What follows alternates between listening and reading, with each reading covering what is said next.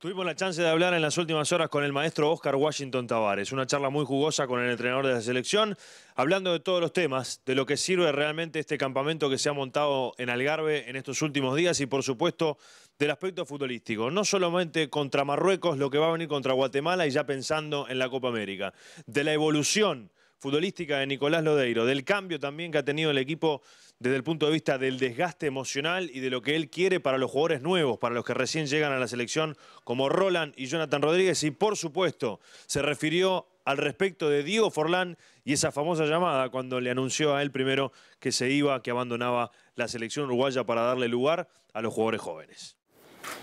Bueno, antes de que me llamara, un poco de, de intriga, porque Mario Rebollo me dijo, hablé con Diego, quiere hablar con usted. Creo que fue un domingo. Este, después la conferencia de prensa la dio el jueves, creo que fue. Y bueno, como hizo en la conferencia de prensa, este, el, asunto de la conversación me lo dio de, salida, sin anestesia, y me dijo lo que quería hacer. Y me dio... Y uno este, lamenta mucho, vamos a decir, que haya futbolistas que, este, vamos a decir, que se hayan alejado un poco eh, por la comparación que hacemos los, entrenadores este, de la selección, sobre todo los que han aportado tanto desde el punto de vista de, eh, de la estructura que tiene esta selección, desde el punto de vista grupal y, de la, vamos a decir, de la defensa que han hecho este, de las cosas que ellos veían bien. Y Diego fue uno de ellos como fue eh, Lugano, Abreu, Scotti, Guren. ¿eh?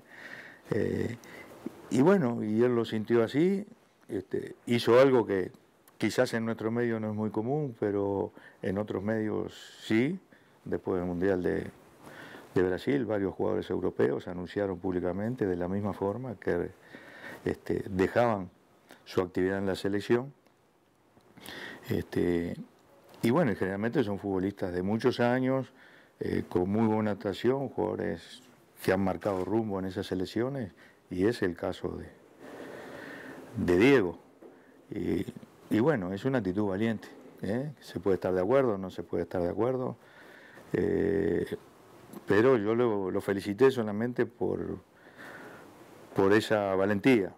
Maestro Lodeiro lo probó en, algún momento como, como doble 5 para darle una salida mucho más pulcra al equipo, pero estamos viendo un Lodeiro adelantado en el campo en Boca realmente exuberante. ¿Dónde vamos a ver a Lodeiro en los próximos partidos de Uruguay? Y posiblemente como lo vimos en el partido con Chile. Más adelante.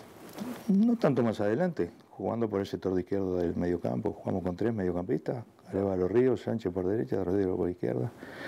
Lo que pasa es que este, acá en la selección, no digo que sea mejor o peor, pero es lo que exigimos, tiene que haber un, orden en cuanto a las zonas por donde se juega. ¿eh?